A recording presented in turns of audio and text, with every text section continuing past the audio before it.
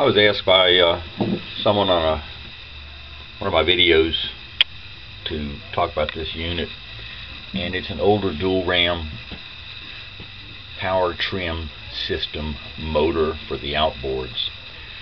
And uh, he was wondering about filling it. And it's really quite simple. Two screws one right here one right here.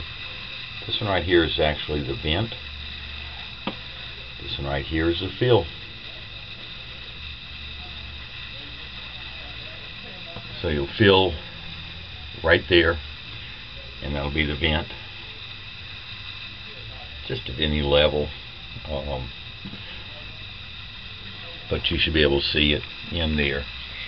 And the unique thing about these is um, you use actually motor oil and uh, some of them say 20 weight some say 30 weight but just an SA non-detergent uh, motor oil is what you use on them but that's it. Fill vent and uh, run it up and down. It's a self-bleeding system so you don't have to bleed the rams. And then after you run it up and down and motor sounds good make sure it's still topped off. That's it